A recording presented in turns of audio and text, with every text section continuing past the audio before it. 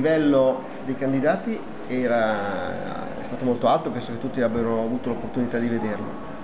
Eh, e soprattutto eh, la competizione si è svolta con veramente delle piccole differenze tra uno e l'altro e credo che anche la giuria abbia avuto qualche difficoltà poi a dare i punteggi per, poterli, per poter trovare il vincitore, diciamo così, perché erano veramente tutti molto bravi. Quindi questo ci dà soddisfazione da una parte perché noi siamo un'associazione di professionisti, quindi puntiamo a quello e vogliamo che i professionisti vengano da noi ovviamente, ma anche ci qualifica ulteriormente perché così rendiamo più credibile quella che è la professione del sommelier. L'associazione che rappresento si chiama ASPI, Associazione della Sommelieria Professionale Italiana, che può essere confusa con tante altre associazioni che esistono in Italia, ma noi siamo l'unica che racchiude e dà come soci so, i soli professionisti, è l'unica riconosciuta a livello nazionale ed internazionale, quindi accreditata eh, dai più altri organismi che esistono nel mondo a livello vitivinicolo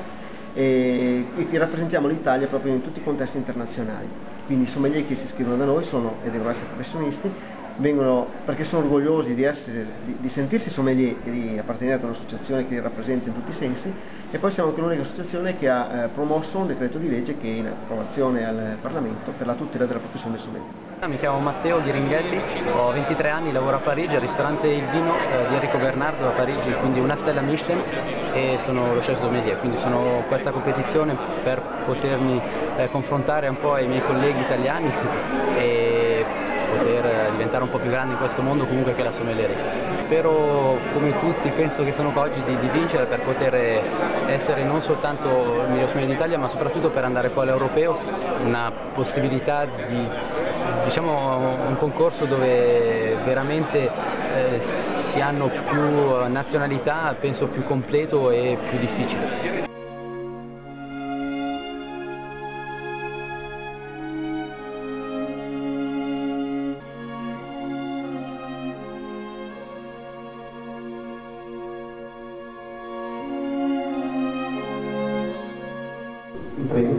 Consegnati dai produttori ovviamente, visto che sono stati loro che hanno permesso lo svolgimento di questa, di questa competizione. Allora, il vincitore di eh, questa edizione del Miglior Sogno d'Italia, che sarà anche rappresentante italiano al prossimo concorso europeo che terrà a Strasburgo nel novembre di quest'anno, è Matteo Gheringhelli.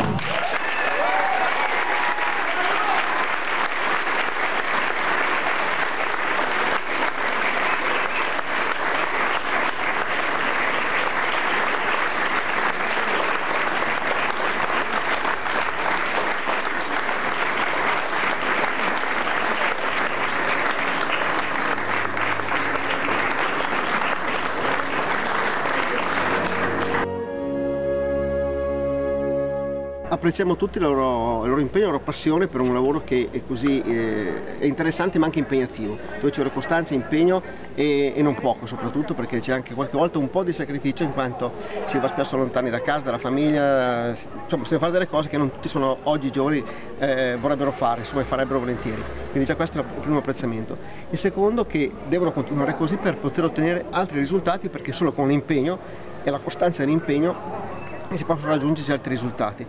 penso che ormai loro questo l'abbiano capito perché sono, sarebbero neanche arrivati qui e in questo modo possono aspirare anche a vette molto più, più alte, più importanti che gli daranno soddisfazione sia dal punto di vista ovviamente come gratificazione morale, personale per, per l'impegno che ci hanno messo, quindi otterranno dei risultati, ma sicuramente anche dal punto di vista economico perché c'è un riscontro anche in quello oltre che quello professionale. Io sono d'accordo, eh, diciamo che sono d'accordo con quello come sono d'accordo da,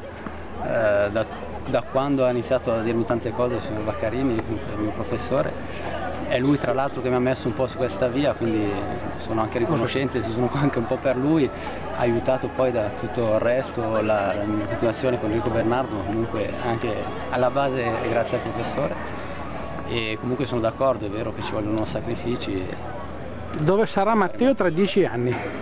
Ah, questa è una bella domanda. Dove sarà Matteo tra dieci anni? Penso o dove che vorresti sarà essere? Matteo tra dieci anni o dove dovrà essere non l'ho ancora scoperto.